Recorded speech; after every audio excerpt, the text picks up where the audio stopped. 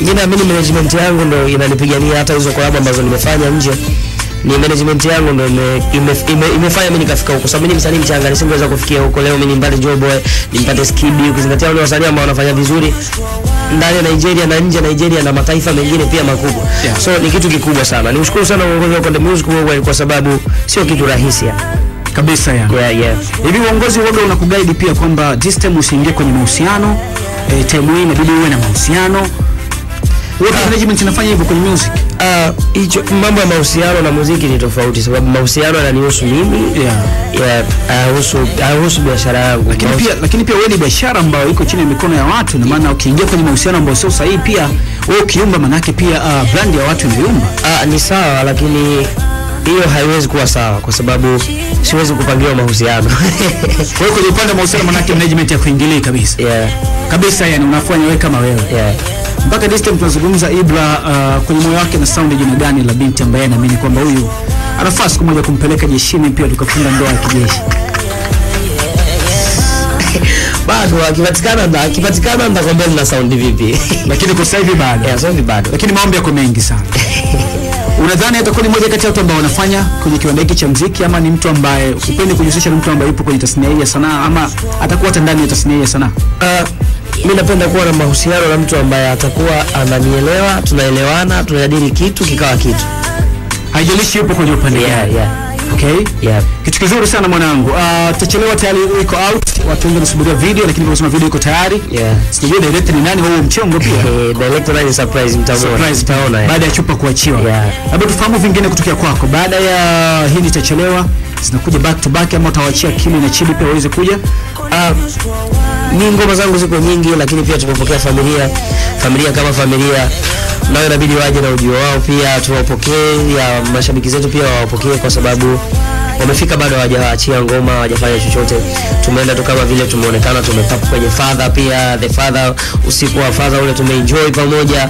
Ah, familia kama familia inazidi kukua na ni kitu ambacho cha kufurahi. So huwezi kufanya wewe tu vitu siku zote, itakuwa sio vizuri.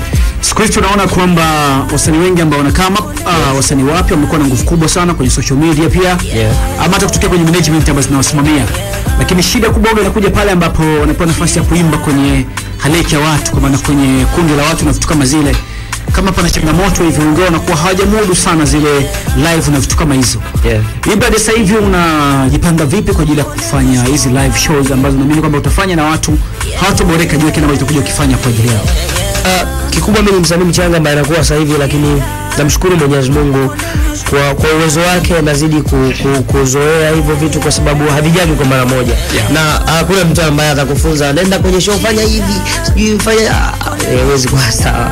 Kwa hiyo ni vitu ambavyo wewe mwenyewe inabidi uvizoee vikae ndani yako. Kwa hiyo nazidi kuvizoea na nazidi kuwafurahisha mashabiki zangu kadri ya uwezo wangu na kadri ambavyo amenibariki Mwenyezi Mungu.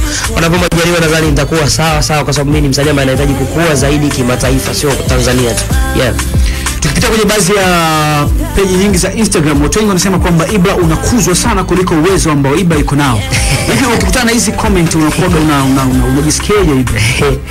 Uh, labda la- la- labda labda labda niweke niweke niweke vizuri sababu Yep, yep. binadamu tumeumbwa tofauti. Wewe unaponisikiliza mimi na mtu mwingine anaponisikiliza mnapata vitu viwili tofauti, sio kitu kimoja.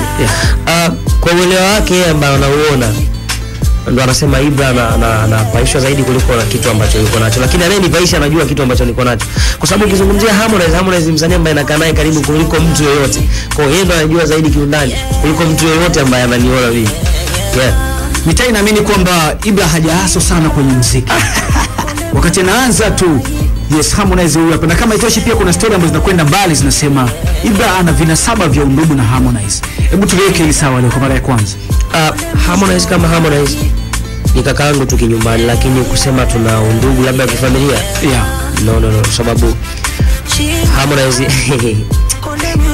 Harmonize ni mtu ambaye anakaa sehemu tofauti, hata hata sehemu tunakaa ni tofauti, hatuna yeah. undugu wowote, hata kusema mababu wamekutana labda hapana, yeah. lakini nadhani ili watu wengi wanaliongea sana mi nadhani hili limetokea tu kwa sababu Mwenyezi Mungu amependa, sio labda sababu kama angetaji awasaidie ndugu zake na ndugu zake kibao, mpaka mi na- na- na- na, na, ana- wengine wanache- wengine wanacheza mpira, wengine wapo wanaendelea na kazi zao za kawaida. Angehitaji kama amsaidie ndugu yake, angechukua ndugu yake amwambia kaa hapa tuimbe, sababu mziki bro ulivyo unaweza ukachukulia hata wewe hapo mtu akakutrain na ukaweza kuimba vizuri na ukakaa kwenye biti na mziki ukaenda. Yeah. Kwa hiyo manake wewe na Harmonize ni washikaji ambao labda mnafahamiana kwa sababu wote mmetokea Mtwara, lakini hamna undugu vile ambavyo mita mingi na mimi. yeah, kabisa kabisa. Hatuna undugu. Na hata mara ya kwanza alivyoniulizaga nilipofika studio akaniuliza unatokea wapi nikamwambia natokea Buza. Hakuja- amekuja kujua mbele kabisa kwa mimi ni mtoto Mtwara. Alicheka sana Kwa mara kwanza kumbe, kwa nini ulimficha kwamba yani yani kwamba ulitokea Mtwara kwa unatokea Buza? Eh, aende yani aliniuliza wewe una- unatokea wapi? Nikamwambia mimi natokea Buza. Sababu nilifanya Sinza pale studio yake. Unatokea wapi? Nikamwambia mimi natokea Buza. Kaambia unakaa Buza eh. Kwa kujua kama mimi ni mtu wa Mtwara. Sasa kuna siku akaongea Kimakonde alafu nikasikia nika- nikaongea. Sikiliza, alikuwa anakuteta ama ilikuwaje? Yani yani ilikuwaje? Mpaka ikawa surprise kubwa kiasi hicho? Ah, alikuwa anaongea Kimakonde. Nakumbuka fa baba yake ndo ali- ali- ali- ali- alikuja akatembelea studio pale. Kwa akawa anaongea ongea Kimakonde. yani. Nikasikia wameongea Kimakonde hivi wamefurahi na mimi nikachangia. Akashangaa. Kwani Kumbe Mmeneo nyumbani bana. Yeah. Nikamwambia bro mimi ni Mmakonde bwana. Ah unatokea wapi? Nikamwambia mimi natokea Rukokoda. Akaniambia da Rukokoda yeye. Da. Rukokoda nishai kwendaga pale alikuwa anachezaga sana singenge sababu alikuwa na ngoma zao hivi za Yeah, asili. yeah, Alishaendaga pale alishachezaga sana singenge akaniambia yeah bro. Kwa hiyo mimi ndo pale pale ndo nyumbani. Yeah kwa a- ikawa ndo mwanzo wa kunifahamu hapa kwa mimi ni mtu wa Mtwara. Kama hivyo. Bwana fresh, lakini pia katika aso zako Buza imehusika sana eh? Sana sana sana. Buza siku hizi moja kati ya maeneo ambayo imepata umaarufu mkubwa sana. Sijajua Buza ni kubwa pia, labda Ibra kwenye haso zako ulikuwa unapatikana Buza ipi wewe? Ah, uh, ni mara ya kwanza kabisa nafika nimeishi nimeishi Yombo Makwata kule ndani kule Yombo Yeah. Makwata.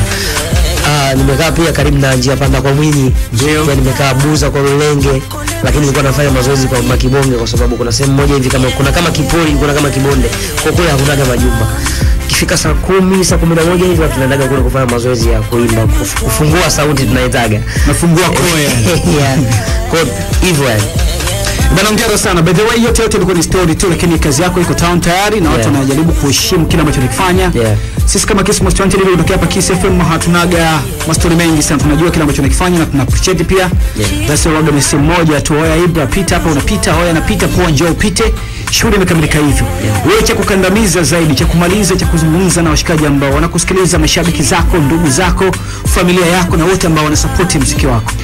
Uh, kikubwa ni, ni mtangulize Mwenyezi Mungu. Kwanza mshukuru Mwenyezi Mungu na pili waamini kwamba bila wao bila nyinyi ambao mnanisikiliza sasa hivi hakuna mziki wa Ibra, bila nyinyi hakuna Ibra. So kikubwa support, ni support subscribe YouTube channel yangu kwa sababu ni sehemu kubwa ya biashara yangu. Kila nitakachokifanya kiko pale. Hata hii interview ukipita baadaye utaikuta YouTube pale pia.